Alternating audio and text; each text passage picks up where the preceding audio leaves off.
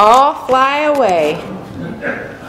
You know, I've heard that song off and on for several years, and it never meant so much to me as it, as it does in this day, right?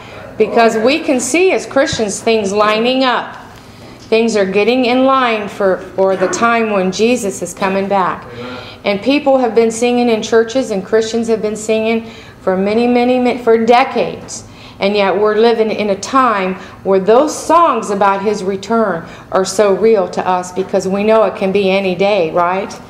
And this is Palm Sunday, and so um, how many of you guys like this weather that we're having? Raise your hand if you do. Oh, Charles, you guys are nuts.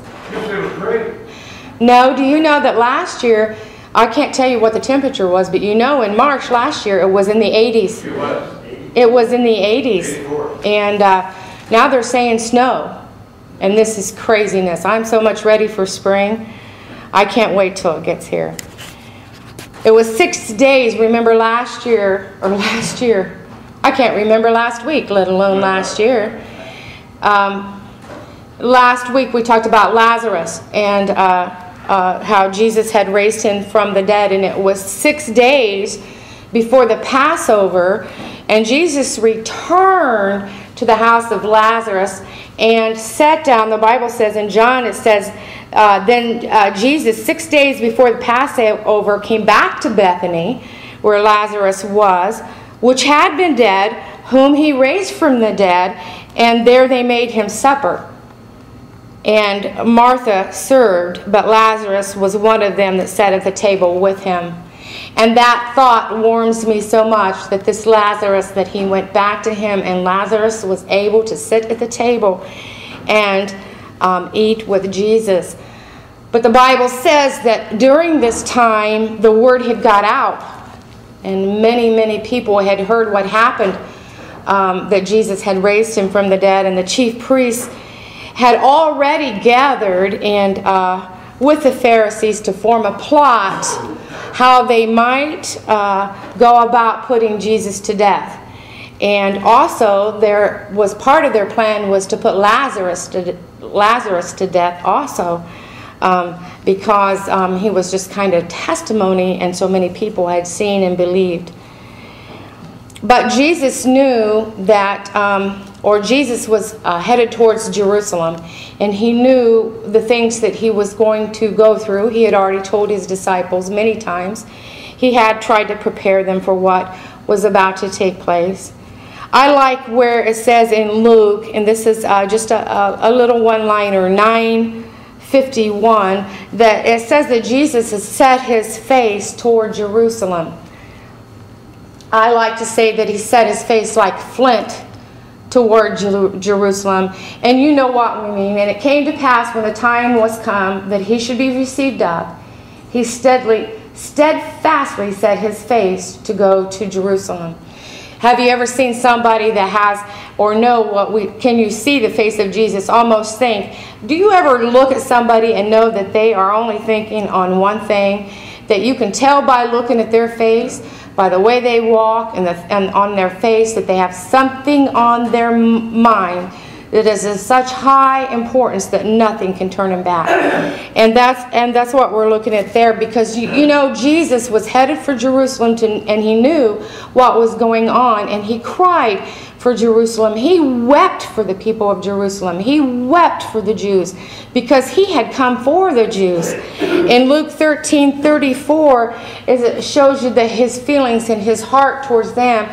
He said, Oh, this was Jesus speaking, Oh, Jerusalem, Jerusalem, which killeth the prophets and stoneth them that are sent unto thee.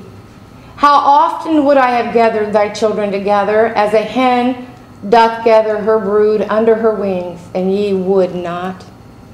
And I would think that those things today, he could still say those things about some of us, some of the world now, because he is still the same Jesus that weeps for the lost.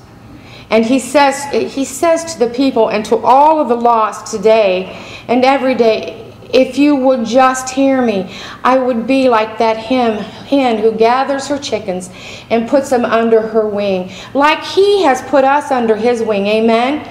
We are not one of those who is, are lost. We are under his wings.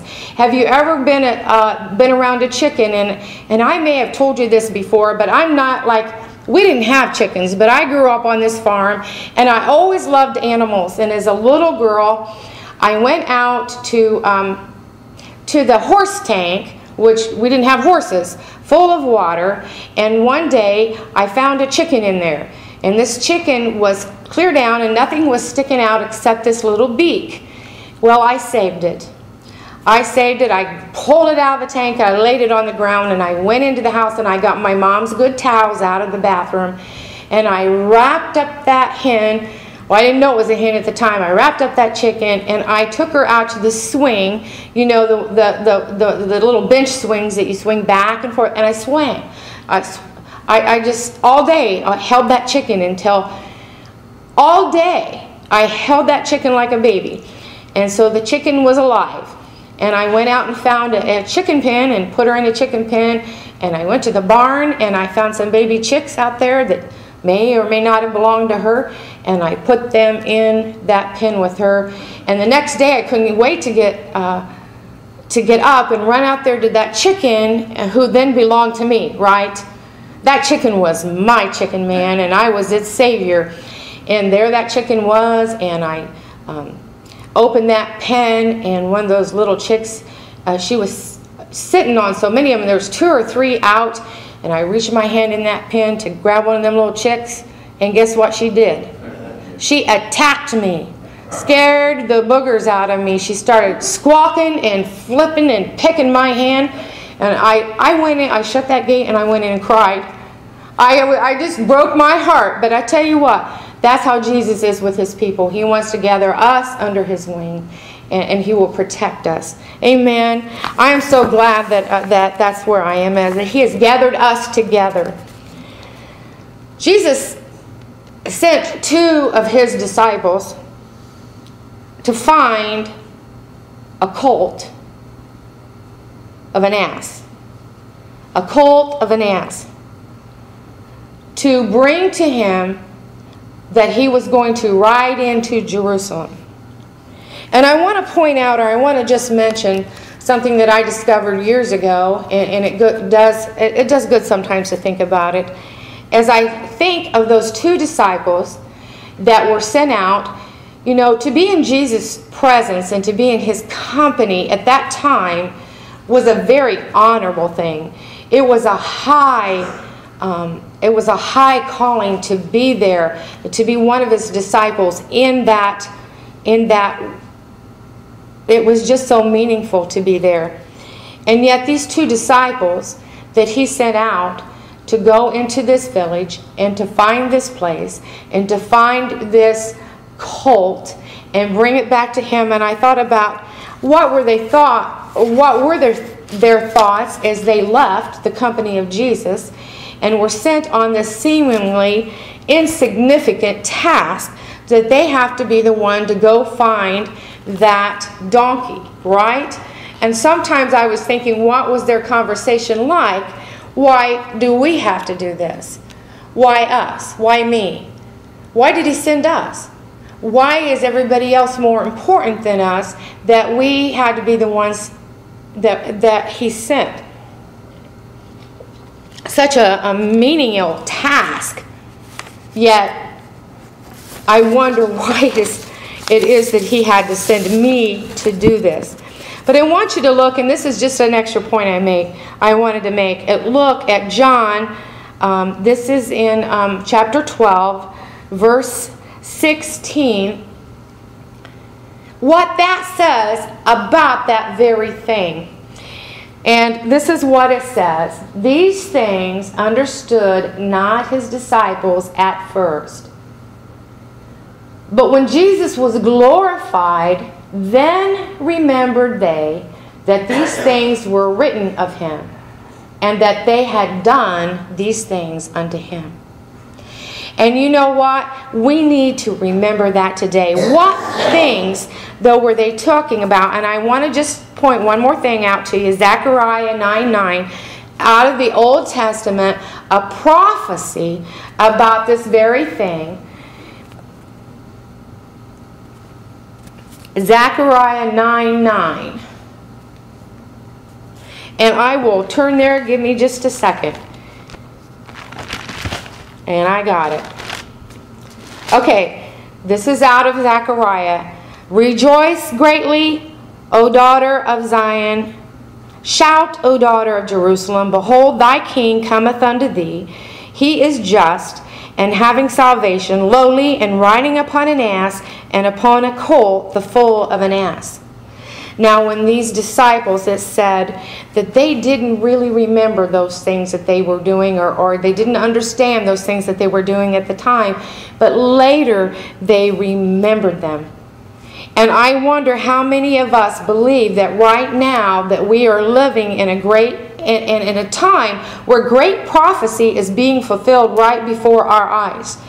And how many of us have done something that we think that maybe right now could be a menial, menial task, maybe an insignificant thing, and then we will find out someday, or God will show us someday, how those things that we were doing were not insignificant. Amen. See, those two disciples that were sent out to get that colt for him, at that time they thought this is such a this is such a meaningless thing. Yet God revealed to them later that it was not. They, those two, all of the disciples, but those two disciples specifically were used to fulfill the prophecy of Zechariah 9 9. Amen? Zechariah had said, and I don't know how many years ago it had been before that, that the king would come, and when he came, he would be riding upon an ass and upon a colt, the, upon a colt, the foal of an ass. And these two men were sent to get that very thing that Zechariah had prophesied, prophesied about.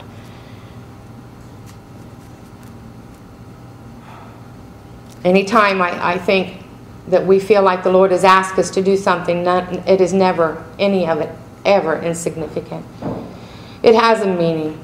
It has, it has something that He has intended to do. John says that the next day after uh, Jesus had had supper with Lazarus, he was going to, or he was riding into Jerusalem. The disciples had brought the colt. In John 12, 12 and 13, we've all heard of this before. It says that they took branches of palm trees and went forth to meet him and cried, Hosanna! Blessed is the King of Israel that cometh in the name of the Lord. And so, as he entered into Jerusalem with his face set like flint, knowing what he was going to do, the people praised him. He had a great multitude. He had many people, and they were taking palm leaves and laying them on the path before him in their coats and laying them on the path before him as he rode into Jerusalem, crying, Hosanna, Hosanna. Great is the King of Israel that cometh in the name of the Lord.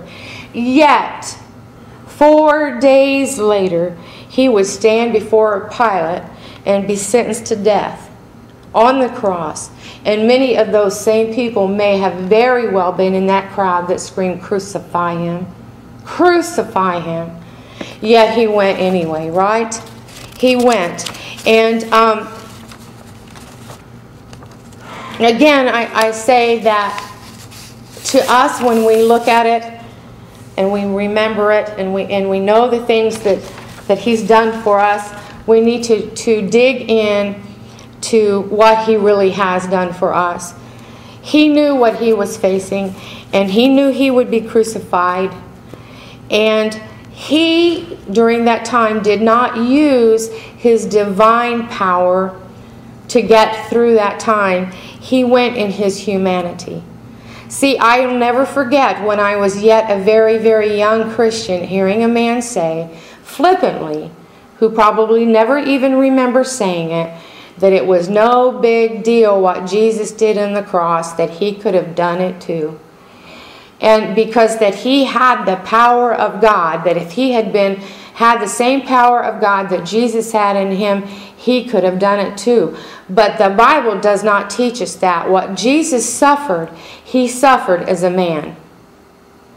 He did it in his humanity. When they blindfolded him, when they slapped him, when they spit on him, when they made fun of him, when they disrobed him, when they, when they pounded that crown of thorns in his head, he had pain in his head.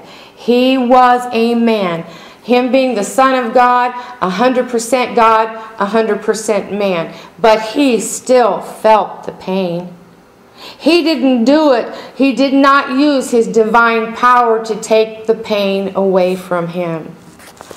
He was as all men feeling the pain, and it was not an easy thing to do. Yet he had that power. This is what we got to remember. He had that power available to him, did he not? He said, I have the power to lay my life down, and I have the power to raise it up. In the Garden of Gethsemane, when, when they came to um, Jesus after he had been betrayed by Judas. And Peter rose up and pulled his sword out and cut off the ear of one of the high priest's servants. And Jesus said, No, no, no, don't do that. Don't do that. Don't you understand that right now I could call on my Father and he would send six or how many legions of angels to me? Look at Matthew 26 53.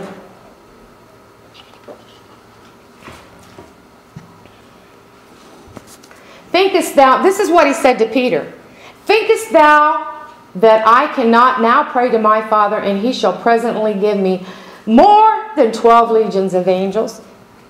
That is around 10,000. Peter, don't you understand? Put your sword back in your po pocket or in your holster or whatever you put a sword in. Just put it back. Don't use it.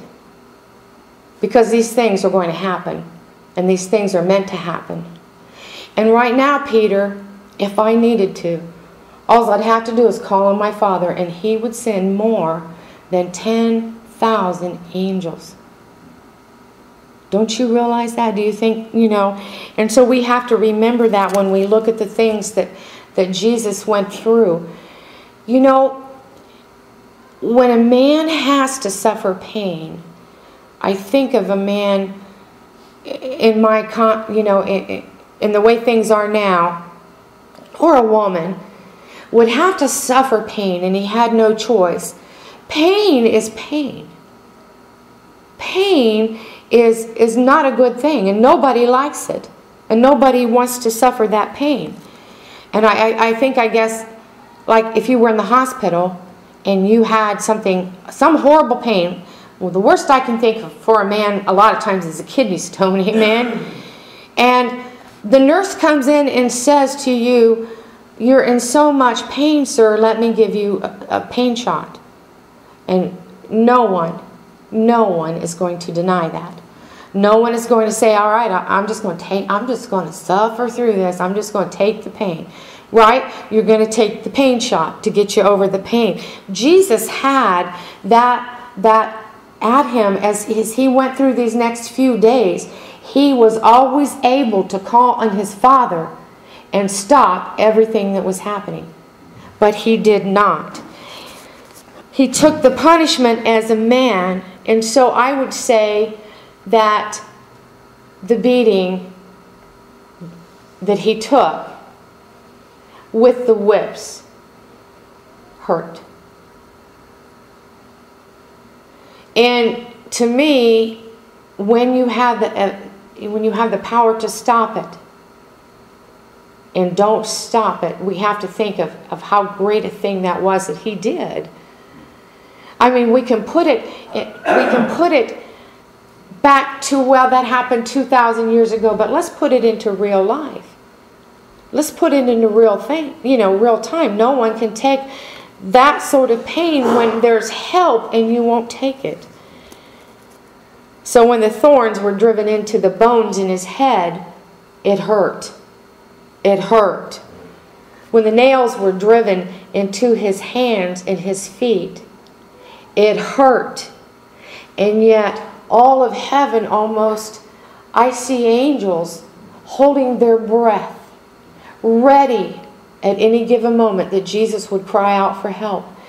But yet, what do the angels want? They didn't want him to cry out for help because they knew was what was at stake, right? They knew what was at stake. Jesus told Pilate, To this end was I born, and for this cause came I into the world. To this end was I born, and for this cause came I into the world. It was a purpose, it was the divine plan of God. It was not an accident, it was not a plot that some high priest gave him the credit, he gave himself the credit for the plot that was able to put Jesus before Pilate and be sentenced to death. It was part of the plan from the beginning. In Romans, Paul says that the princes of this world did not know the mysteries of God because if they had known, they would not have crucified the Lord of glory. Why does, it, why does Paul say that? Because when Jesus Christ was crucified, that's exactly what the plan was. And here they were used as pawns in a chess game to bring about these things that God had already intended. Because Rome, or, I'm sorry, Romans says, and, and, and, I'm not going, I'm not giving you the, the scripture, but you just have to believe me. It's in chapter 5 that by sin, and you guys already know this, but one, one, by one man, sin entered into the world. Right? We all know that. By one man, sin entered the world, and death by sin. That was Adam. When Adam sinned, sinned, then sin entered the whole entire human race. And death is the result of sin. It says, And so death passed upon all men, for that all have sinned. It goes on to say that through the offense of one, Adam, many died. And the gift by grace, which is free, came by the obedience of one man. And that was Jesus Christ. So sin entered into the world by Adam, and the payment for sin came freely by Jesus Christ. Romans 5 8 says, But God commendeth his love toward us, in that while we were yet sinners, Christ died for us. So, so when somebody says, How do I know that God loved me? We could tell them, Well, Christ died for you. And you know what? Some people will receive it and some people won't but very few can hear it that they're not convicted by the Holy Spirit. Jesus had said that, the whole, that he would send the Holy Spirit, which would reprove the world of sin. And what was the sin? This is the sin that they believeth not in me. And so God commands his love towards us. We can know how, see, we know that God loves us because he sent his son to die for us. It was part of the plan. It was part of the plan from the beginning. Jesus was the final blood sacrifice, the last one ever needed, the last one ever accepted. After he went to the cross and shed his blood for us, no more, there was never again another sacrifice. He was the final one. The Lamb of God, whose blood was shed that we might be saved. And that's why when Jesus said, when he was on the cross, it is finished. You know what it is finished means? It is finished. Finished. Finished. It's finished. It's done. The plan is done. It's done. The work is done. God became man so that he would be able to offer up his own blood for a sacrifice that was once and for that was once for all of us, right? Amen? Amen. I think that when Jesus took that final breath and his life then ended, I imagine that those angels rejoiced, the angels in heaven, for they knew what it meant. The world didn't know what it meant, but they did. And I can almost imagine that a tear was shed from God's eye. That his son had completed the task that he had sent him to do. Oh, he wasn't crying, or he wouldn't, God would not have wept that his son had died. It would have been a tear of joy, for because that was his final sacrifice. From that moment forward, from that very moment forward, until this very minute, when God accepted the blood of Jesus as a payment for sin, it still stands. It is still the only one the only way that it'll ever work. And that blood that he shed there was for the forgiveness of sins. Do you remember the thief on the cross? It was for him. And it was for those soldiers who run those nails into his hands and feet. For the Jews that didn't believe. It's for all who have ever lived from that time on. For all of mankind, for you, for me, for the vilest of all sinners, which I am, right? For the worst of us, and for the best of us, right? We still need the blood of Jesus. Amen.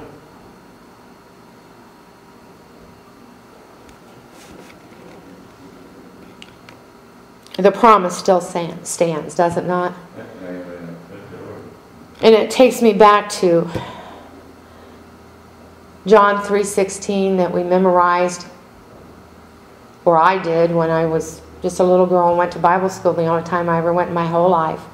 And I was so proud that I came home and I could in just one day I could recite that to my mother for God so loved the world that he gave his only begotten son that whosoever believeth in him should not perish but have everlasting life. For God so loved the world.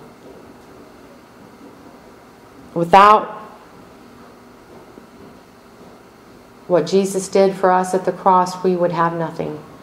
We would be nothing. And yet, with that in our life, we have everything. We can do all things through Christ. There's no other way. And I think that many of us, I mean, we all know this, but sometimes don't we have to we have to get a hold of ourselves and always go back to the cross. See, the cross is where it all began. And when we think of the time that's coming up, this this um, week that is ahead of us, the things that Jesus would do, the things that he would say, the things that he would have to suffer. You know, Isaiah said he was wounded for our transgressions, he was bruised for our iniquities. Surely our chastisement, chastisement was upon him, and by his stripes we are healed.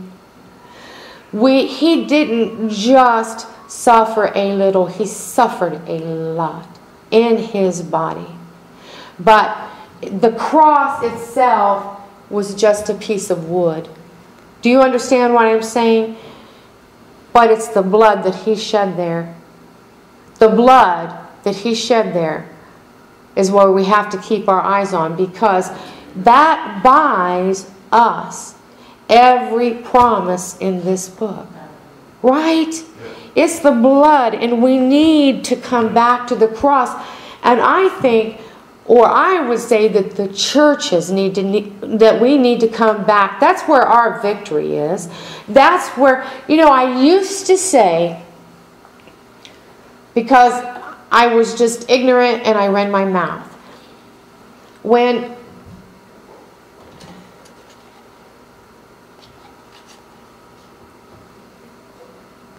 I used to say before I ever got saved that I just hated preachers with sweaty hands and sweat in their foreheads and pounding the devil out of people and everybody saying, Do you need to get saved? You know, I just hated that. And then one day I realized I had been saved and I thought it was great, you know, but I always thought, what am I saved from? Oh, and I would say a lot of times, I've been saved from me. From me. I've been saved from that. But the bottom line is at the cross, and we believe in Jesus Christ and what He did there, we have been saved from the penalty of sin, and that is death.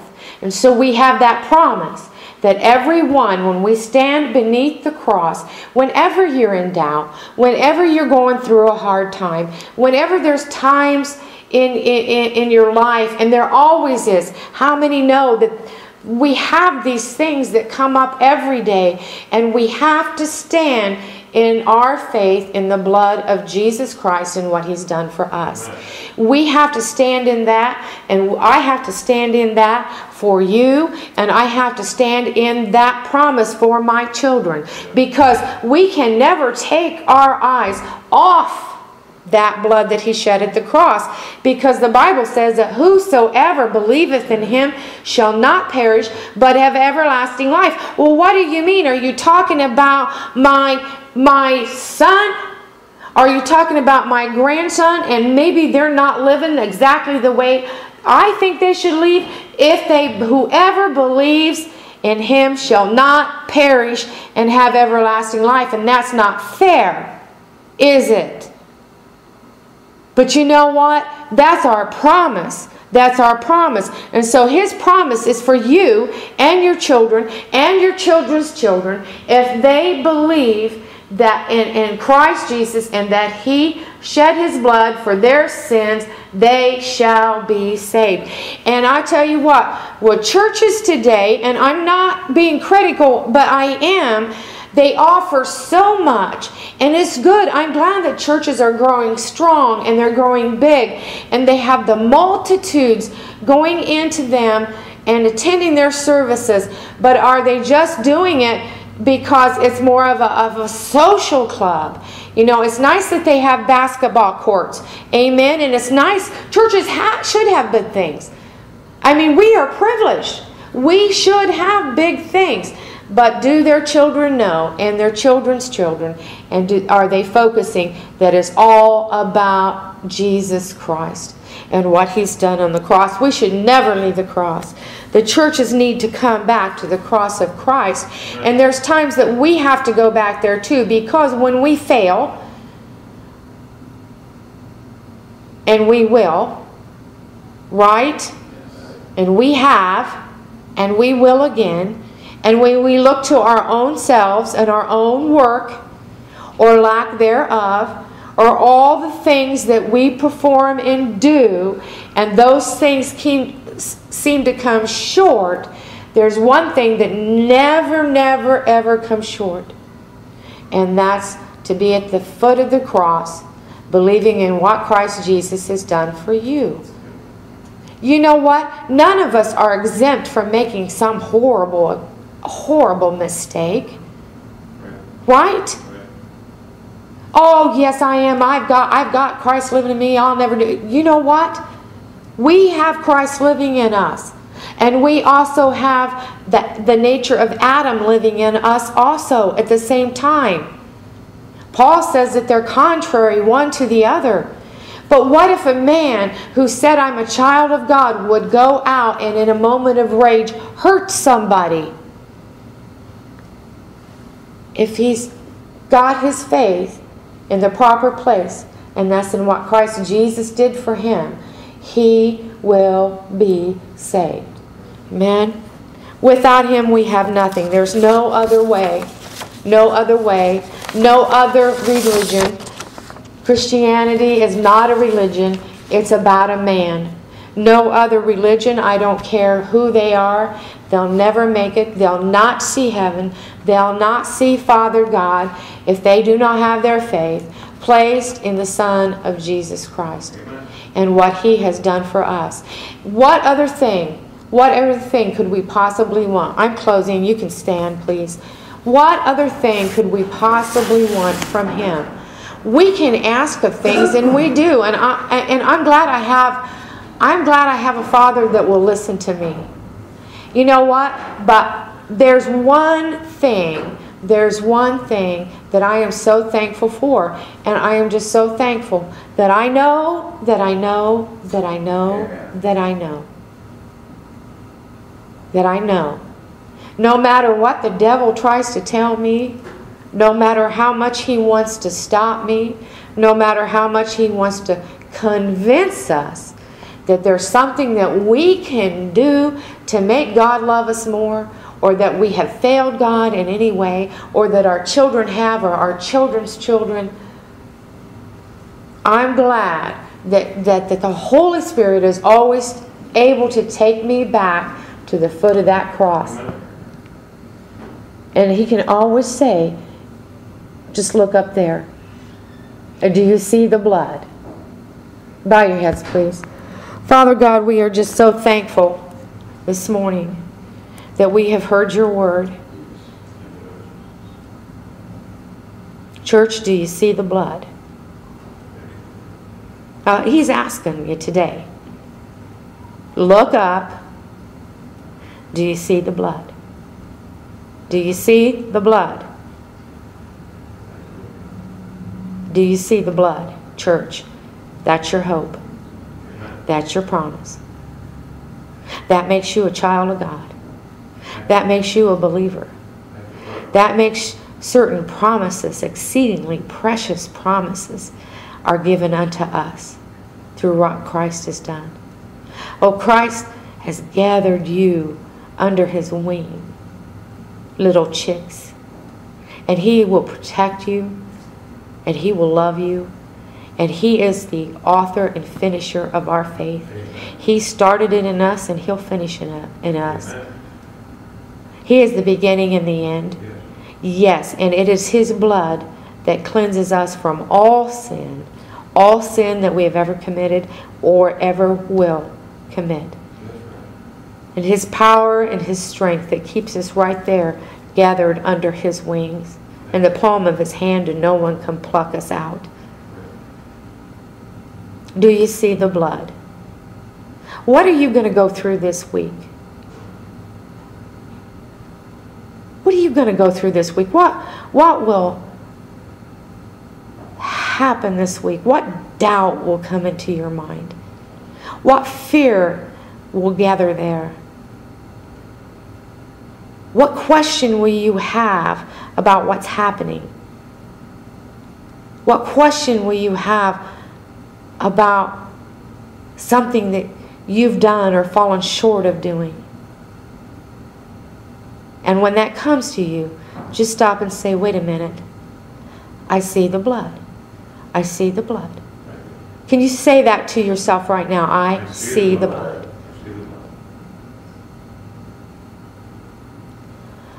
Brother Bob Landers, would you dismiss us in prayer, please? Heavenly Father, we thank you for this day and we thank you for your word. It's anointed to the pastor to preach to us. Heavenly Father, help us to take this with us, to remember it, and to rely on it. This is the hope. Yeah. And Jesus, just be with us each one, guide, direct us, and bring us back together again. In Jesus' holy name we pray. Amen. What can we Must do? have followed on his side, huh? Nothing but the blood of Jesus. She did. That was meant for him, you know. We're on this side, okay? I turned it turned. Blood, blood, blood. What? Amanda says it's snowing.